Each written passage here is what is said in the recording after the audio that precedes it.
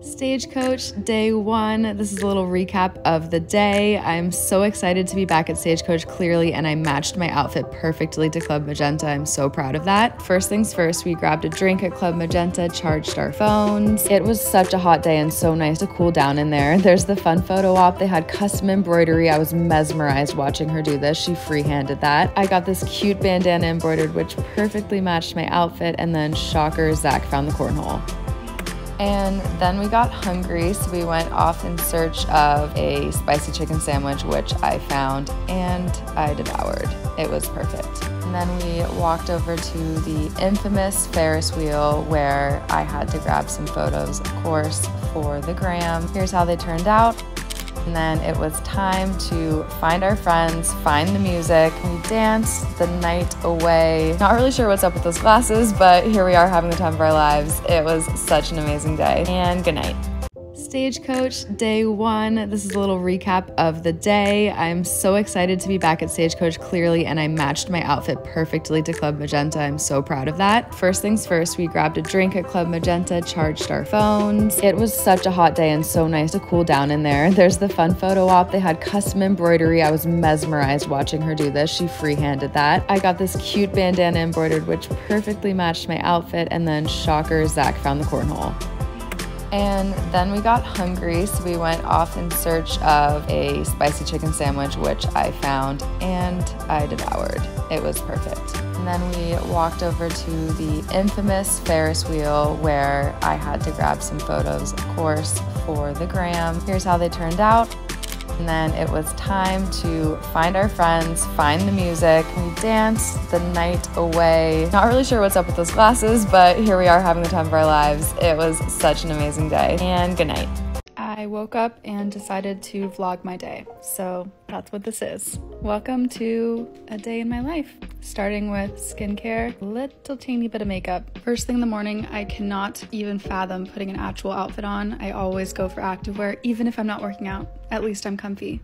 Hugs followed by coffee in that order, and then I'm in my little home office and I'm playing Wordle. We've been pouring our hearts and hours into this project. Can't wait to announce it soon. Zack made me a smoothie, and I did, in fact, put my outfit to good use.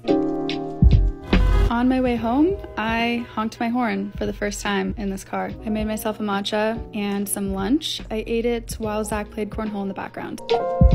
And then I got dressed. This whole outfit is from Lovers and Friends. I'm working on the next collection for my brand Tyrone, and I'm so excited, but don't peek! Zack is trying to figure out how to organize our lives better. I changed the calendar for March, put on sweats, and that was the day. Good morning from Mallorca. This morning I am attempting to revive my skin after a lot of travel. Well, first coffee, then skincare. This mask by Kiehl's is just what the doctor ordered. It's made with Amazonian white clay, which absorbs oil and draws out dirt and toxins, which I can almost guarantee I have a lot of. And then I went to go see what Zack was up to and I did. Gave him a little fright, which is always fun. And then after 10-ish minutes, wash it off to smooth, clean skin and bam, I'm prepped and ready for the day. Thanks for watching, bye.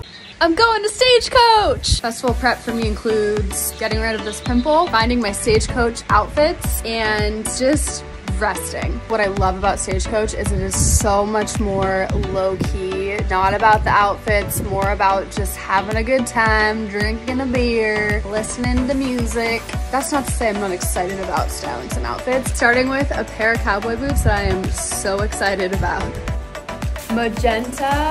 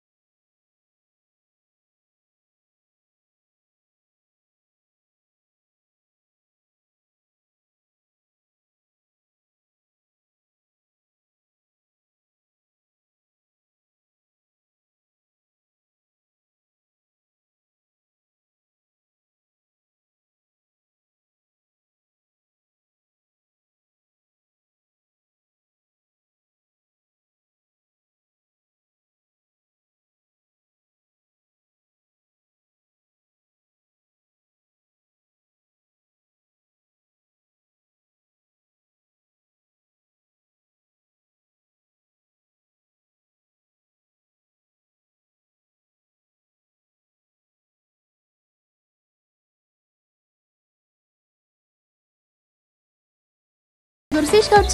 Thanks for watching. Bye. Things in my kitchen that spark joy the morning light, these high ceilings, my plants that stay alive against all odds. This retro clock I found that shows the date, our dinnerware. This is the limited edition Cloud White collection from Fable, and each ceramic piece is hand finished, making them all slightly unique. It's a timeless bright white that ties our space together. Our gold flatware, also from Fable. These pull out shelves I installed to help organize. This message board that I put inspiring quotes on, and our Polaroid wall of all the memories we've made in this apartment over the last five years. Okay, not to be dramatic, but I freaking love my bedtime routine. And I'm not talking about some complicated 10 step routine. I keep it simple and peaceful since my days are usually the polar opposite of that. I am on my second jar of this Tatcha moisturizer, and it is insane how moisturizing this product is. Like, I wake up feeling brand new. I make some kind of hot beverage, usually peppermint tea, and light a candle for the ambiance. Nothing knocks me out faster than a little bit of reading and